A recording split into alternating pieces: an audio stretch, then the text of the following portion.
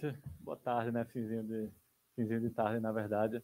Meu nome é Daniel Almeida, sou CEO aqui da Steps. É, e meu envolvimento aqui com o pessoal do Porto Digital começou até bem antes do Desenvolve Aí. Minha startup surgiu lá na Universidade Federal de Pernambuco. E depois é, a gente veio para a incubação aqui do Porto Digital, onde a gente desenvolveu nossas tecnologias e desenvolveu o negócio como um todo. E aí depois a gente foi seguindo um fluxo aqui de atividades junto com o Porto Digital e acabou caindo aqui no Desenvolve Aí. Uh, então, a Steps é uma startup que desenvolve soluções de tecnologia e de engenharia para a indústria. A gente começou uh, desenvolvendo soluções usando uma ferramenta estatística que não sei nem se vocês conhecem, mas é design de experimentos uma ferramenta estatística bem complexa até. E a gente tinha algum, o meu sócio é especialista em design de experimentos, a gente começou na Gerdau fazendo projetos assim, e depois a gente começou a trazer para dentro do time gente de tecnologia para implementar mais soluções, tá? E aí o Porto Digital foi super importante nesse processo da gente de evolução. Uh, e depois da Gerdau, a gente veio com outros clientes, com a Indústria Agenda, com a Ball Corporation, uh, desenvolvendo soluções em machine learning e principalmente uma parte do machine learning inteligência artificial que é a visão computacional. E eu vou explicar para vocês o que é que é isso. Então, hoje a gente aqui na Steps tem um sistema de análise comportamental e de interação para a indústria, que é o que eu vou explicar hoje para vocês. E a gente também tem algumas outras soluções que usam visão computacional uh, para monitoramento visual de produtos. Então, vou começar a explicar aqui para ficar um pouco mais claro o que é que eu estou falando. Bom, a gente partiu é, do desenvolvimento das soluções da gente de, um, de uma questão que a gente começava a perceber nas indústrias, que muitas indústrias estão buscando o 4.0, focando no levantamento de dados, é, no, na automação de suas linhas, de suas produções e tal. Sensoriamento, pô, vamos sensoriar equipamento, massa, isso é incrível, perfeito é, mas tem algumas atividades que ainda faltam uso de tecnologia e que poderiam ser é, melhoradas, como, por exemplo, manutenções, setups, monitoramento dos dados. Esse, esse tipo de atividade ainda requer muita ação humana, mesmo nas fábricas mais automatizadas. Então, a gente percebe que o 4.0, na verdade, ele não é digital, ele é digital, ele é a combinação do físico, do, que é, do manual ainda com as tecnologias digitais, tá?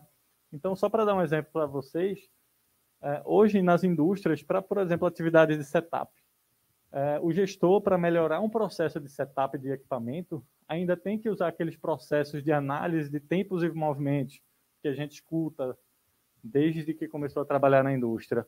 Gemba, o gestor vai lá na linha, vai observar o que está acontecendo, vai gravar vídeo do pessoal fazendo as operações, vai entender o que é está acontecendo e como pode melhorar essas ações.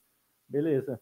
Mas você fazer esse tipo de atividade de melhoria de ações manuais, você não consegue fazer isso 24 horas por dia. Você abre um projeto, você grava um vídeo, você melhora o processo e pronto.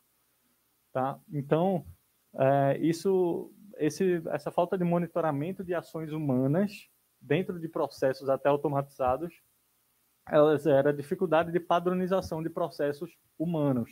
Tá? E aqui eu não estou nem falando das, dos tipos de produção que são realmente manuais. Estou tá? falando até de processos mais automatizados. E aí, a gente da Steps veio com o propósito de trazer as ações humanas para o 4.0. Então, a gente desenvolveu e acelerou durante o desenvolver aí com a Ball Corporation, nossa parceira aí nesse desenvolvimento, a criação de um sistema de análise comportamental. Então, a gente construiu um sistema de câmeras que a gente instala nas, nas linhas de produção para reconhecer as atividades humanas que estão sendo feitas ali e coletar informações valiosas sobre como as ações humanas estão sendo performadas dentro das indústrias. Então, identificar padrões de movimentação, movimentação não só de uma área para outra, o colaborador andou, mas como eu apertei um parafuso, como eu, é, enfim, fiz qualquer tipo de atividade em uma máquina específica. Então, o objetivo disso é poder comparar, melhorar e padronizar processos entre até diferentes fábricas de um mesmo grupo, tá? E aí esse é o hardware que a gente desenvolveu. Essa é a primeira versão. A gente já tem versões mais recentes desse processo.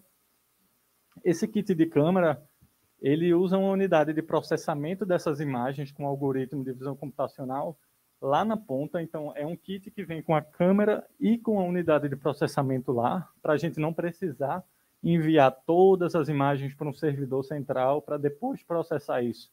A gente processa lá na ponta e envia só o dado é, importante para não precisar ficar lidando com dados sensíveis de imagem, por exemplo, por aí. Então é por isso que a gente faz isso. Uh, e aí eu vou mostrar para vocês aqui um pouquinho. Uh, esse é um algoritmo da gente que a gente rodou lá na Ball Corporation, tá? Uh, e esse é a visualização que o gestor tem do algoritmo. Nosso interesse não é que o gestor tenha a visualização da câmera. A gente não quer que o gestor consiga ver qual é o operador que está fazendo uma atividade é, para poder comparar. Ó, esse cara aqui está fazendo atividade ruim. Vou atuar nele especificamente ou eu vou puni-lo porque ele está fazendo isso ou aquilo. Nosso interesse é tirar informações sobre como os processos estão sendo feitos. Então, ali, por exemplo, aquelas labelzinhas que tem ali em cima, pela imagem da câmera, a gente consegue saber se a máquina está funcionando ou se a máquina está parada e contar quanto tempo ela ficou parada. Ali, o bonequinho do operador, isso é um operador de máquina, tá? É, fazendo uma atividade. A máquina, com, é, o sistema consegue capturar o que o operador está fazendo. Ela vai registrando, pô, ele está fazendo uma limpeza no equipamento, então vai aparecer a label ali, limpeza quanto tempo ele passou fazendo a limpeza, depois quanto tempo ele, ele passou trocando uma ferramenta, quanto tempo a máquina ficou parada sem ninguém mexer na máquina, por exemplo, quanto tempo ele passou olhando para a máquina sem mexer na máquina. Então, todo esse tipo de informação a gente coleta, tá? E com privacidade. A gente não entrega para o gestor quem é que está fazendo cada ação. A gente entrega um compilado de informações sobre os processos. Então a gente consegue monitorar várias câmeras ao mesmo tempo, vários tipos de ações, uh, registro detalhado dessas ações. Aí você consegue tirar tempo médio de manutenção, uh, o tempo entre manutenções, o tempo entre falhas, enfim, uma série de coisas, tá? E a gente consegue identificar em que turno, por exemplo, a ação de manutenção do tipo tal está sendo melhor performada, e aí o gestor vai falar, pô, esse turno aqui está fazendo ação melhor. Aí vai investigar por quê uma ação está sendo melhor do que a outra. E aí, só para terminar, a gente consegue usar esse mesmo sistema de câmeras para desenvolver outros módulos, que é o que a gente já está fazendo. Por exemplo, o módulo de segurança, identificar se aquele operador está usando o equipamento de segurança correto ou não, ou se o operador ele está, por exemplo, fazendo alguma ação com potencial de risco. Por exemplo, ele está muito próximo de uma superfície quente, ou ele tocou na superfície quente, ou ele teve um mal súbito e se acidentou, por exemplo, e aí a câmera já gera um alerta automaticamente se ele caiu no chão. É uma possibilidade.